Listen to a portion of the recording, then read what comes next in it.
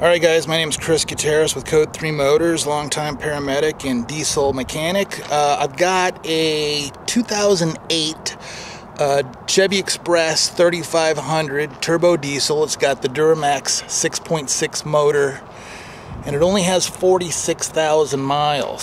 So let me give you a walk around tour and uh, you'll see the paint is great. You cannot read what it used to say. Uh, uh, this belonged to a local hospital that only used it on campus. They had several outbuildings that they would shuttle patients to, uh, you know, to various facilities.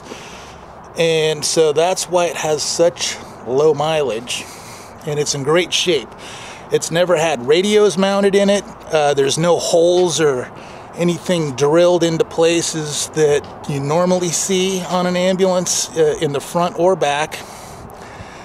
And it has brand new tires that were just mounted this week Goodyear Wrangler HT 10 ply tires. So uh, let's go ahead, excuse me. excuse me. Something in the air. All right, let me, uh, we'll start going through all the exterior compartments and then we're to get in the back, we're to get in the front, we're to look under the chassis, we're to go for a test drive. This is the O2 compartment. You can see the regulator is there. This thing is deployment ready, it doesn't need anything. Uh, it's set up for an M tank. So if you need a H tank, that rack would not work. This is not an adjustable rack. Most people do not use an H tank. So uh, this should be fine. And your Star of Life sticker is right there. Wheeled Coach is the coach builder. So there's that compartment. In here we have the inverter, the suction motor, and a space there for emergency equipment down below. Back here's the backboard compartment. It's set up to hold three backboards or flats. Uh, it's big enough for a scoop stretcher. You can see there's three belts there so you can hold each belt in place. So when you undo one of these for a backboard, all three of them don't come falling out on you. There's that. Uh, we'll get in the back in a second. Back here's a spare tire that looks like it's never seen the road. So there is that. Up here is your compartment where you would have your jump bag, your portable suction, portable oxygen, everything you're going to take into your rescue right there. So let's get this thing fired up. It doesn't have any leaks. Uh, there's nothing weird about this ambulance. It fires right up. It drives great. Suspension's good. I'll, I'll go over all the mechanical stuff. Oh, well, here's a sneak preview of the interior, but we'll get in here in a minute. You'll notice that the interior is mint. No scratches, uh, no tears, no mars of any kind the floor, everything, but we'll get in there in just a second. Let's get in the back. And uh, it's the same great condition back here. Oh, I should point out, these uh, chevrons, this is just vinyl. If these colors don't work for you, we can pull this off. We can also pull the vinyl stripes off the side, make this a virgin white ambulance if you need that. If blue is not your color, um, we can take it completely white for you if you want. Uh, it does include a gurney. This particular ambulance is set up for a one-man gurney. That's what this. It's a it's a Ferno uh. It's a Ferno Flex 2033. If you're familiar with the Ferno Model 28, uh, it's a variant of the 28. So one man. They call it a one-man gurney because it just takes one man to load it. It's got a collapsible undercarriage. So when you pull the lever and hit the deck the legs uh, fold under automatically. So there's that. It does have floor mounts for a Stryker though. So if you use a Stryker MX Pro or a Power Pro or an Easy Pro, it does have the side floor mount and the, the antler mounts up there for a Stryker. And you'll notice the floor, it's like the rubberized diamond plate. It's in perfect condition it's just a little dirty from walking on it, but there are no scuffs, there are no tears, there's no cracks or anything anywhere. And you'll notice that the laminate's in great condition. There's no mars, there are no weird holes, nothing was, you know, some, you know, weird thing mounted. Uh, sometimes guys will mount cup holders for their big gulp and stuff. There's nothing like that in here. So, let me go So this is this compartment here is big for a stair chair. Eh, you could put a Ferno stair chair in there. I don't know if a Stryker stair chair would fit in there. It doesn't look deep enough to me for a Stryker, But it, it will take a Ferno up above. Another spot for something shallow. You could put uh, emesis basins, bedpans, urinals, stuff like that in there. you have your cabinets up there in the middle with an adjustable shelf. Down below, another uh, two big spaces with adjustable shelves. And then above, the action wall, you'll see there's another uh, compartment for BVMs, oxygen mask, cannulas, all that stuff. On the action wall, we have our air conditioning or heat. That's coming out there. Oh yeah, you'll also notice above the side door is a glove a compartment for gloves for small, medium, and large, or medium, large, extra large up above there. And there's a canister for emesis basin or emesis bags. Uh, and so that is our how you turn the heat and cool on and off. The speed selector next to it, that's high.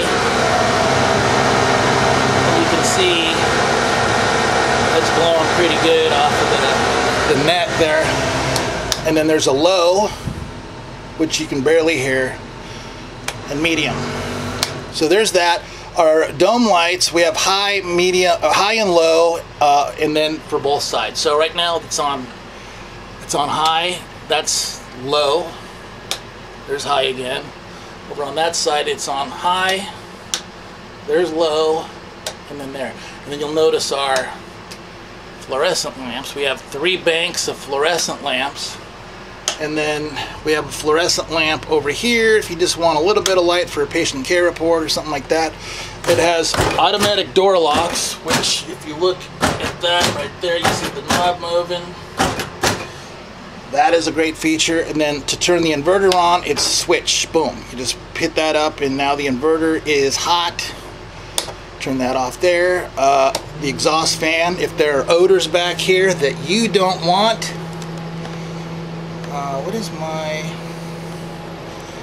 Oh, is my thing telling me I'm almost out of tape? There's your exhaust fan. Let me uh, see, I might have to delete some old files in order to keep this going. Let me see, and then here's our suction.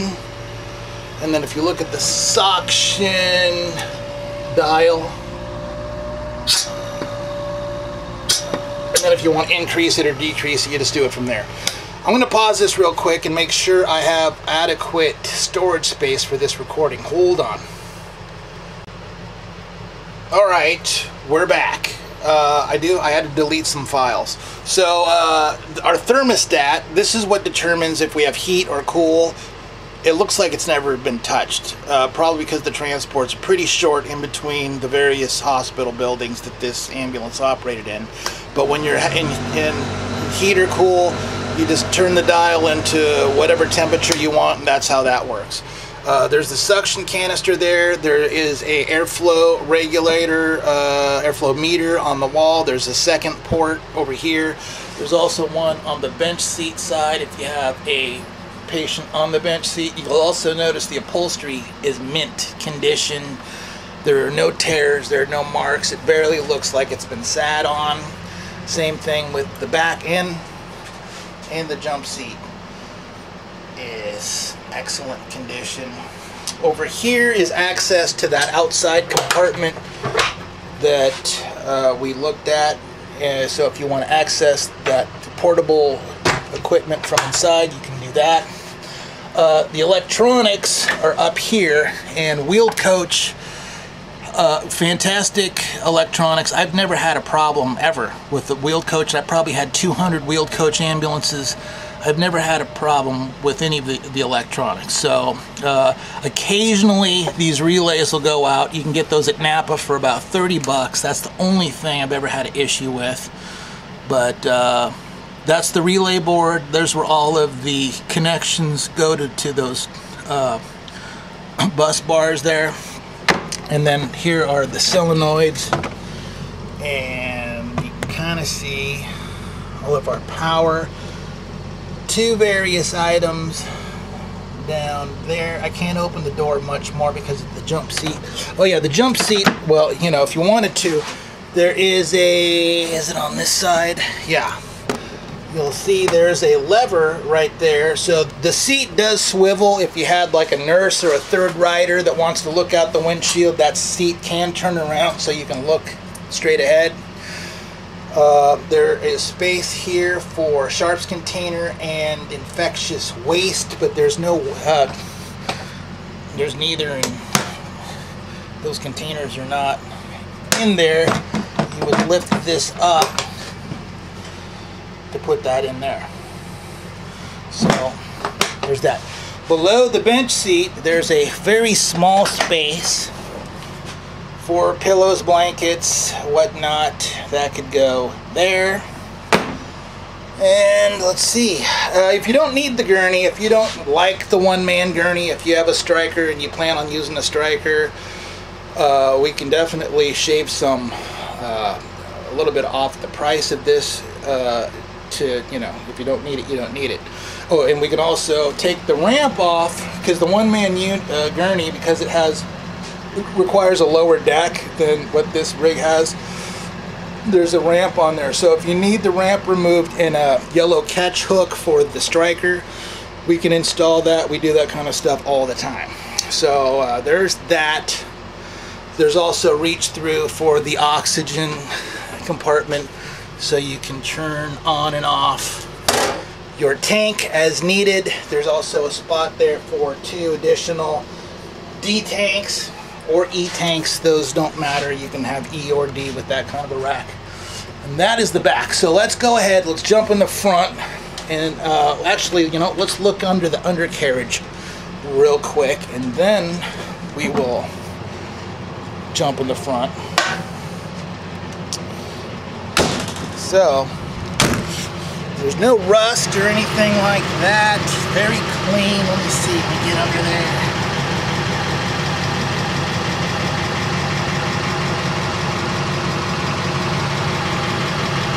And you know, and again, the, you know, it's got the spare tires in the side compartment. So we'll look at the tires.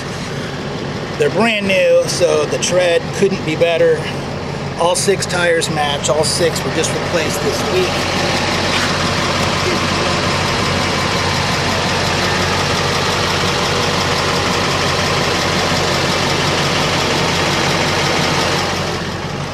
And then there's this tire.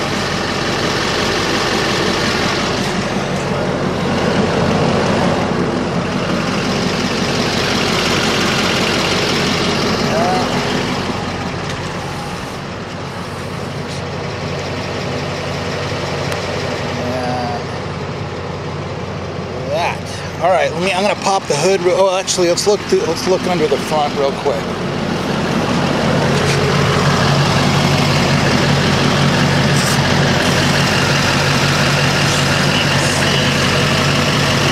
Well, you can't really see much because of the shroud that's there.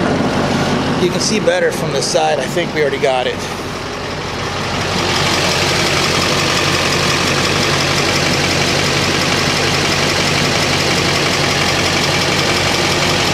All right, uh, let me pop the hood. Are you kidding me? Did I lock myself out?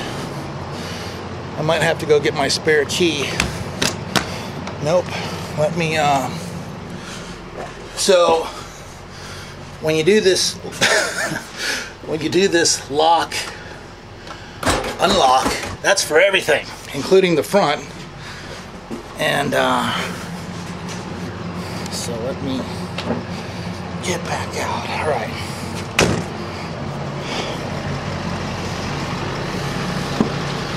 Okay. Um, let me see if the sun's going to be. No, well, it might be a problem. Let me see.